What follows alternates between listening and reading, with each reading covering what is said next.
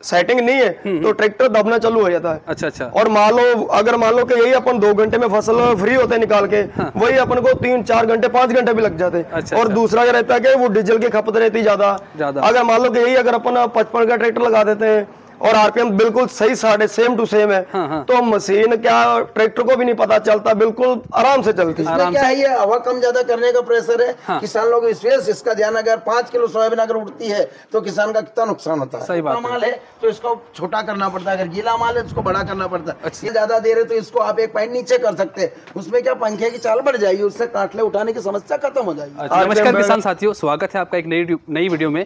तो किसान भाइयों आज आपके लिए बहुत ही शानदार वीडियो लेके आए हम। रिपेयरिंग जो थ्रेशर मशीन रिपेयरिंग होती है भाई, उसके बारे में आपको पूरी जानकारी देंगे। कई किसान भाई क्या होते हैं कि रिपेयरिंग तो कर लेते हैं, पर सही चीज़ें से ना होने के कारण कई प्रकार की प्रॉब्लम आती है। जैसे सोयाबीन का भी सीज़न चल रहा है तो जैसे कि दाना क्वालिटी सही नहीं निकलना, दाने के टुकड़े करना या दाना भूसे की तरफ़ आना, उसके बारे में आपको जानकारी दूँगा। साथ में किसान भाई मैं भी आपको ये भी बताऊँगा कि कितने एचपी की मशीन जो है कितने एचपी के ट्रैक्टर पर आपको चलनी, चलने चाहिए, ताकि आपका जो डीजल एवरेज अच्छा रहे और काफ़ी बढ़िया से आपका मशीन जो है काम करे। तो उसकी पूरी जानकारी हम आपको देंगे। तो वीडियो में बने रहे किसान भाइयों। पूरी जानकारी आपको मिलेगी। तो हम बात कर लेते हैं यहाँ से। जो मशीन रिपेयरिंग का ज़्यादातर काम करते हैं। तो सर नमस्कार। नमस्कार सर। सर क्या नाम है अपना? जो पुरुषोत्तम चौधरी। अच्छा अच्छा।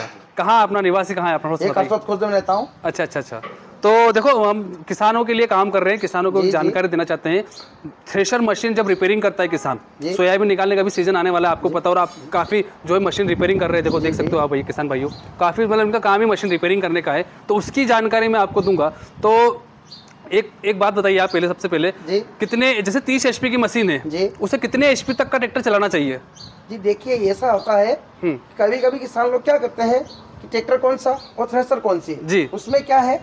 कि पुलियों का सेटिंग रहता है। जी। और अधिकतर जो है थ्रेसर ट्रैक्टर जो है इसकी पीटीओ साफ्ट होती है उसके ऊपर डिपेंड करता है कि ट्रैक्टर की पीटीओ साफ्ट इक्कीस जीरी की है या छह जीरी की है। हाँ। तो उसके ऊपर पुली का डिपेंड करता है।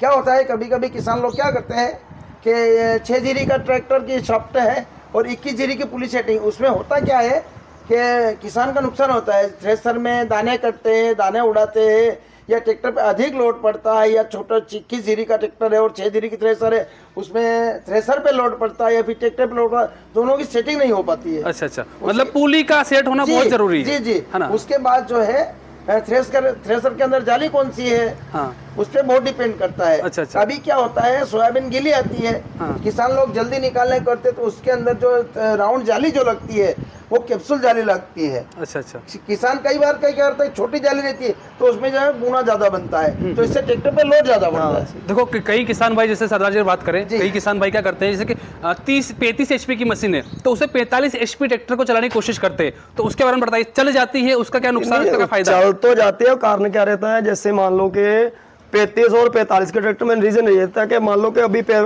अभी जो जो अभी की स्थिति ऐसी है हाँ। कि इसमें क्या कि माल गिलाता है हाँ ठीक है और गीले माल पे के पैंतीस और पैंतालीस का ट्रैक्टर पुली की अगर सेटिंग नहीं है तो ट्रैक्टर दबना चालू हो जाता है अच्छा अच्छा और मान लो अगर मान लो कि यही अपन दो घंटे में फ़सल फ्री होते हैं निकाल के हाँ। वही अपन को तीन चार घंटे पाँच घंटे भी लग जाते हैं अच्छा, और अच्छा। दूसरा क्या रहता है कि वो डीजल की खपत रहती है ज़्यादा। अगर मान लो कि यही अगर अपन पचपन का ट्रैक्टर लगा देते हैं और आरपीएम बिल्कुल सही साढ़े सेम टू सेम है। हाँ, हाँ। तो मशीन क्या ट्रैक्टर को भी नहीं पता चलता बिल्कुल आराम से चलती। आराम चलती। हाँ। तो चलो रिपेयरिंग में सबसे पहले तो ये आता है अपना कि पुली का विशेष ध्यान रखें सबसे बड़ी चीज़ है पुली की पुली, पुली, पुली का ज़्यादा अलाइनमेंट अगर सही साठ है हाँ, हाँ। तो आप कुछ भी और कहीं भी चला सकते हो कुछ भी निकाल सकते हो। नॉर्मली अगर बात करें तो किसान भाई के पास पैंतालीस एचपी ट्रैक्टर लोकल मिलेंगे भाई। हाँ, पैंतालीस तो है। मिलेगा 45 के मिलेगा 50 के मिलेंगे ट्रैक्टर। पैंतालीस एचपी के ट्रैक्टर में कितने एचपी की मशीन कंप्लीट चलेगी? इसके बारे में पैंतालीस में तीस की तीस के बाद में कोई भी मशीन चला सकते हो। और अगर मान लो कि अपन पैंतीस की बाँध देंगे ना तो ट्रैक्टर पे लोड बहुत ज़्यादा आता है। निकाले तो की? हाँ निकालेगा।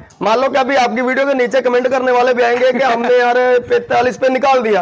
वो जैसे मान लो कि कोई लोकल मान लो कि जैसे मान लो कि कोई काश्तकार अच्छा आदमी है। हाँ हाँ। मान लो कि उसने दो तीन घंटा चलाना वो निकाल भी लेगा। हाँ। ठीक है? अगर मान लो कि वही फ़सल अपन पचपन ट्रैक्टर पे निकालेंगे पचपन एचपी के वही वो एक और डेढ़ घंटे में फाइनल करके पार हो जाएगा। अच्छा। और ये पैंतालीस पे लगाओगे तो डीजल की ज़्यादा और लोड लेगा ट्रैक्टर दबेगा। ट्रैक्टर दबेगा ठीक है? क्या होता है सोयाबीन में काटली आना दाने उड़ाना ये बहुत सारी सिस्टम बहुत रहता है। मेन ये ड्रम भराना थ्रेशर का बहुत सारी समस्या अच्छा रिपेयरिंग में अगर और बात करें तो आगे जैसे कि बेरिंग क्या उसके बारे में बताइए। बेरिंग है बेल्ट है उसके बारे में बेरिंग तो सर ऐसा कि मान लो कि इसका मेन चीज़ ये दो बेरिंग रहते हैं। हाँ। ये वाले थ्रेसर के मेन चीज़ ये है और वो आगे वाले। अच्छा ये कि पीछे वाला मेन बेरिंग रहता है। बेरिंग हाँ, हाँ। हाँ, इनको क्या कि सबसे ज़्यादा मेन इनको ग्रीस रखना ज़रूरी रहता है। अच्छा अच्छा अच्छा अच्छा। Grease top time to time दो अच्छा ग्रीस दो हाँ। तेल पानी अच्छा चेक करो इनका। ये चन्नी के ग्रीस वगैरह करो चाल सेटिंग करो और कुछ भी नहीं क्या होता है किसान लोग क्या करते हैं जैसे फ़सल निकाली फ़सल निकाल के थ्रेसर को खड़ी कर देते खड़ी करने से क्या इसके अंदर कचरा रहता है भूसा रहता है उससे जंग लगती है सड़न लगती है हाँ। अंदर के बोल्ट जाम होते हैं। इसके अंदर जो डालर का बेरिंग रहता है वो बेरिंग जाम होता है। कभी कभी सॉकेट उठने का डर रहता है अच्छा। इसलिए मैं किसानों से ज़्यादातर निवेदन यह करूँगा कि फ़सल निकालने के बाद अपनी थ्रेसर को हाँ। धा के साफ़ कर धो धो के साफ़ करके क्या है लॉन्ग सर्विस मिलेगी आपकी थ्रेसर खराब नहीं होगी अच्छा, ये अच्छा। अभी तीन ढाई पौने तीन लाख की थ्रेसर है। हाँ। इसको अपन ज़्यादा अच्छी रखें मैं खुद किसान हूँ। हाँ हाँ हाँ। इसको ज़्यादा अगर साफ़ सफ़ाई रखें ज़्यादा सर्विस देगी। अच्छा अच्छा। जैसे नॉर्मली आप ज़्यादातर रिपेयरिंग ही काम करते हैं थ्रेशर मशीन का रिपेयरिंग का काम करते हैं। तो रिपेयरिंग में और किसान भाइयों को क्या कहना चाहिए? किन किन बातों का आपको ध्यान रखना है? देखिए मेरी बात सुनो टायर का हवा सही साइड रखे। क्या कभी कभी क्या होता है डाले साइड अगर हवा कम है टायर में तो थ्रेसर पल्टी खा जाती है। खा इसका विशेष ध्यान रखे। अच्छा। और दूसरे वक्त किसान अगर थ्रेसर चल रही है तो बच्चे जो मजदूर लोग जो सोयाबीन डालते हैं उसका विशेष ध्यान रखे। कभी रस्सी अस्सी नहीं जाए अंदर कोई धराता नहीं जाए कोई उसके अंदर जाए नहीं सर उसको खींचे नहीं। उससे क्या है अंदर जाने का ज़्यादा बहुत ज़्यादा डर रहता है। मजदूर की डेथ भी हो सकती है। अच्छा एक और चीज़ मैं आपको पूछना चाहूँगा। कई किसान भाइयों को होता है कि भूसे तरफ़ दाना उड़ाती है। उसका क्या उसकी थोड़ी सेटिंग बताइए हमें। उसका क्या यहाँ से सेटिंग है उसका? अच्छा, हवा अच्छा। कम ज़्यादा ये ये वाला लीवर दे रखे हाँ हाँ अलग अलग मशीन में अलग अलग सेटिंग होती है अलग है। हाँ क्या है ये हवा कम ज़्यादा करने का प्रेशर है। हाँ। किसान लोग इसका ध्यान अगर पाँच किलो सोयाबीन अगर उठती है तो किसान का कितना नुकसान होता है? सही बात है।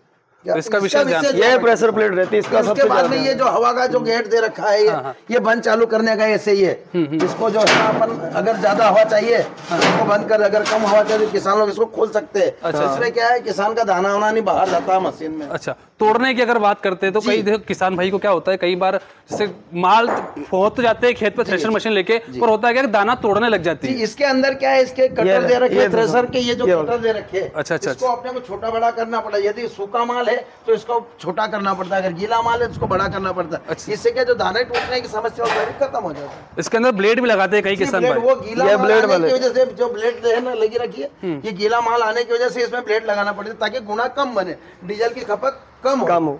कम हो। अच्छा कितनी ब्लेड लगनी चाहिए उसके बारे में बताइए इसके अंदर। इसमें क्या कि ये ये ठिया लगा रहता है ना ये हाँ, जैसे मान लो कि एक पट्टी में अभी दो है और एक में तीन है। ये बिल्कुल सही साइड लगे हुए हम्म। अच्छा। ज़्यादा मतलब आप मान के चलो तो पंद्रह से बीस ब्लेड लगते हैं इसमें। पंद्रह से बीस हाँ अगर इससे ज़्यादा अपन लगाएँगे तो ज़्यादा लफड़ा रहता है कि वो काटना दान फिर दान काटना वगैरह चालू हो जाता है हाँ वो वो नुकसान वाला काम नुकसान वाला काम। जैसे मान लो कि पंद्रह बीस ब्लेड लगती है एक में मतलब छह छह पट्टी है इसमें। हाँ, हाँ। और एक में दो लगती है और एक में तीन लगती है। छह दून बारह नहीं तो पंद्रह। हाँ बस बस इतना ही लगता है। ब्लेड से लगती है। पैंतालीस एचपी हो पैंतीस एचपी हो तीस एचपी हो सब में यही रहता है ना सब सेम टू सेम यही रहता है सेम और यही कुछ नहीं रहता रहता। है अच्छा अच्छा मेन तो आपने ये बता दिया। अच्छा इस मशीन के बारे में बात कर लेते हैं। नॉर्मल लोकल लोकल में तो यही मशीन चलती है जो बता रहे हो। ये कौन सी कहाँ की है बताइए। कृषि दर्शन कृषि दर्शन की मशीन है ना। गीला निकालने में किसान भाइयों को ज़्यादा प्रॉब्लम आती है सोयाबीन। सोयाबीन गीला ही निकलता है।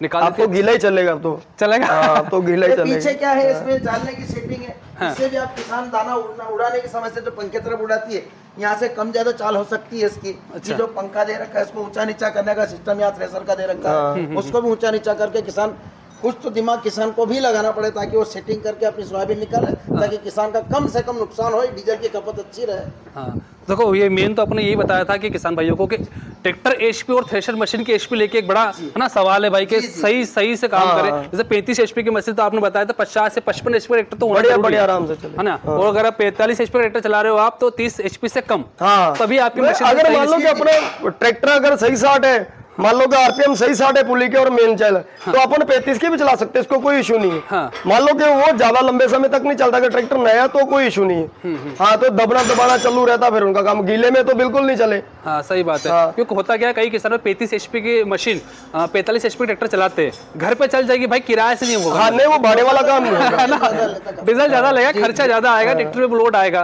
तो दो चार घंटे चल जाए कोई इशू नहीं है। हाँ। हाँ। और पे ज़्यादातर तो तालमेल पैंतीस और पचास और पचपन के ऊपर ही चलेगा। हम्म, पचपन के ऊपर ही चला जाए मेन ये रहता है। वो ग्रीसिंग वगैरह का विशेष ध्यान रखे बस और हाँ, बस और कुछ भी नहीं इसमें ग्रीस पानी चेक करते रहो और ट्रैक्टर का डीजल पानी और नीचे वाला ऑयल वगैरह चेक करो उसका और कुछ नहीं। और मशीन में कुछ होता ही नहीं। बस इसमें तो कुछ भी नहीं इसमें ग्रीस भरो चल दो कर दो मशीन सूखा सूखा ज़्यादा निकालती है मशीन। सूखा मतलब मीडियम क्वालिटी में सब चलता है कोई इशू नहीं। ज़्यादा गीला होगा तो दिक्कत आती है इनको। अच्छा अच्छा। आ, उड़ाने का आपने बताया भाई हवा कम ज़्यादा वगैरह करते रहो ना। हाँ। तो ये था भाई। ये मैंने आपने पूरी जानकारी दी अच्छा बेल्ट को लेके इशू आता है बेल्ट का। हम्म। तो उसके बारे में बताइए जैसे कि इसका अगर प्रॉब्लम आ रही है तो इसमें आप बता रहे थे मुझे कि ये तीन बेल्ट है इसमें तीन बेल्ट लगा रखे हैं। हाँ, हाँ। ये सोयाबीन में सेम पोजीशन में चलते हैं ये। अच्छा। यदि आपको डालर चना वगैरह निकालना गेहूँ वगैरह निकालना उधर डंठल ज़्यादा दे रहे तो इसको आप एक पॉइंट नीचे कर सकते हैं। उसमें क्या पंखे की चाल बढ़ जाएगी? उससे काटले उठाने की समस्या खत्म हो जाएगी। अच्छा, आरपीएम वगैरह बढ़ जाते हैं यहाँ से आप और कर सकते हो जी जी जी। अच्छा, अच्छा। ये विशेष ध्यान रखे किसान इससे पोजीशन पर सोयाबीन उड़ती है। हाँ हाँ। इससे क्या पंखे का आरपीएम ज़्यादा कम होता है? वो पुली नीचे ऊपर दे रखी है उसको बेल्ट को सीधा करें। अच्छा अच्छा तो ये भी बढ़िया है भाई किसान भाइयों तो हमने आपको पूरी जानकारी लगभग लगभग मशीन की दे ही दी है कि अगर अगर आप सोयाबीन निकाल रहे हो किसी फ़सल निकाल रहे हो तो क्या क्या आपको सावधानी रखनी चाहिए आपकी मशीन में? पूरी हमने आपको जानकारी दी है किसान भाइयों एड्रेस की बात करते हैं सर थोड़ा एड्रेस जान लेते हैं। सर अपना एड्रेस बताइए पहले। बताओ इनकम इंडस्ट्रीज़ हाँ। खरतोत खुर्द सातवां मिल बस स्टैंड के पास पेट्रोल पंप के पास खरतोत खुर्द जिला उज्जैन तहसील बड़नगर। ज़्यादातर आप मशीन रिपेयरिंग का ही काम करते हैं। रिपेयरिंग का प्रेशर मशीन कैसी भी हो भाई आप रिपेयरिंग करते हैं। हो, मेन तो अपना यही है ना। जैसा भी हो टूटा फूटा जैसा भी मान लो कि कहीं से जवाब आया हो कि ये नहीं चलेगा हाँ। वो हमारे पास ले आओ एक इंडस्ट्री में हम ऐसी लाइन में करके देंगे तो सदियों तक चलेगी। अच्छा ये रहता। है कॉन्टेक्ट नंबर बता दीजिए हमारे किसान भाई और जानकारी अगर लेना चाहे तो उसके में से बताइए कॉन्टेक्ट नंबर दीजिए सर सर जी अपना nine seven five four eight zero five nine double one. अच्छा अच्छा। जी एक नंबर है double nine double seven two six two zero three two. अच्छा अच्छा। तो किसान भाई आप कॉन्टेक्ट कर सकते हो। एड्रेस में किसान भाई स्क्रीन पे भी आपको दूँगा ताकि किसी प्रकार की आपकी मशीन में कोई प्रॉब्लम आ रही है आप ठीक करवाना चाहते हैं वह संपर्क कर सकते हैं। ठीक है कोई दिक्कत नहीं। कभी भी आप आओ हमारे पास भले दिन में आओ भले रात में आओ हम यही रहते हैं। अच्छा यही रहते हैं। हाँ। चलो ठीक है। तो किसान भाई ये था वीडियो में। मिलते हैं दोस्तों